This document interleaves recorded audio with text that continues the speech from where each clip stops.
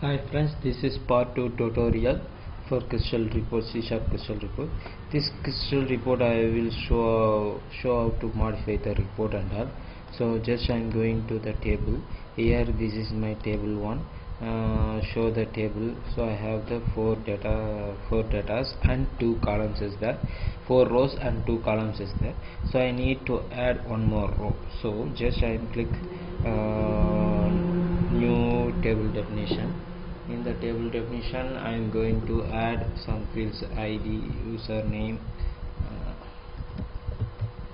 age age and put into int salary salary and put to uh, what? Mm, float uh, incentive.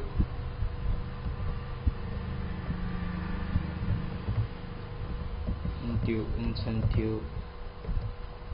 Float. Okay just I'm try to save here. Just I'm going to now show the data table data. So just I'm execute one more time. We will get age age 5 10 15 20 okay? Salary 5000 10000 12000 and 15000 like that. So incentive 100 rupees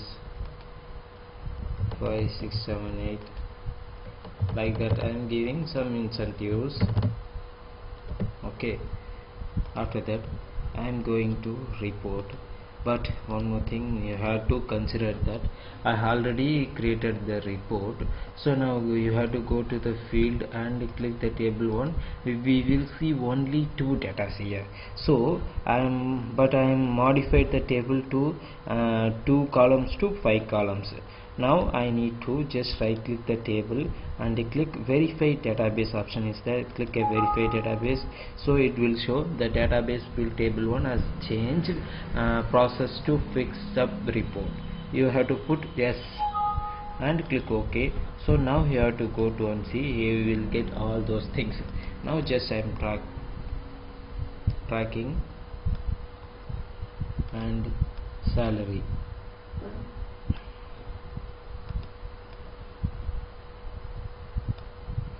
okay now I have to view we will get those things. Okay now what we do I'm just selecting those all the things and change to sorry format multiple object and go to font and remove the underlines and go to 12 size and bold and everything. So this is this is all I am doing. So now I am what we do now just I am extend this those things and moving like that and using the toolbox I am taking one more lines here. Lines.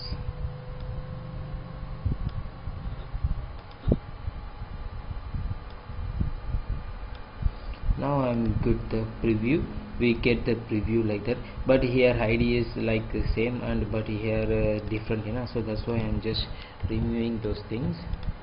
And just copy control C and control V. This is a text object only so here you need to change username here to age age. Here I am just modifying and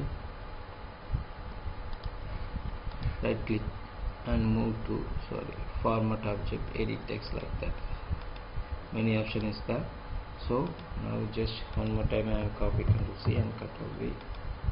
Control V. So here I am changing to salary. And changing to I am incentive incentive. Okay just and control s and run the program. So click the show all button we get those things. We need to format this I no need the comma and and all so you putting the integer or numbers then it will automatically change like that. So I'm just selecting those those field and format object in number field sections. You have to choose like that. Uh, otherwise you have to use the custom format and all. So this is decimals and rounding and negatives and like that okay. So I'm putting like this method and just control s. Now I'm trying to run the programs. So we get the show all buttons we get everything like that okay. Uh, and one more thing I need uh, running total for this. So that's why I'm using like salary no? right click the salary go to insert and running total. No need running total. You have to go to here insert summary summary in summary section you have to select a sum. So just click ok.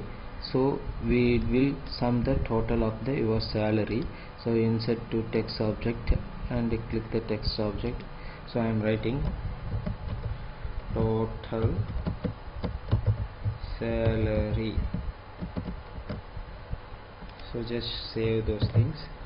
And we have to see like that also and run the project so show all. We get 5000 like that 42000 you totally. I need one just click one and show. So like that 5000 we get the report like that. Okay guys we will meet on next tutorial. I will teach how to use a formula and those formula and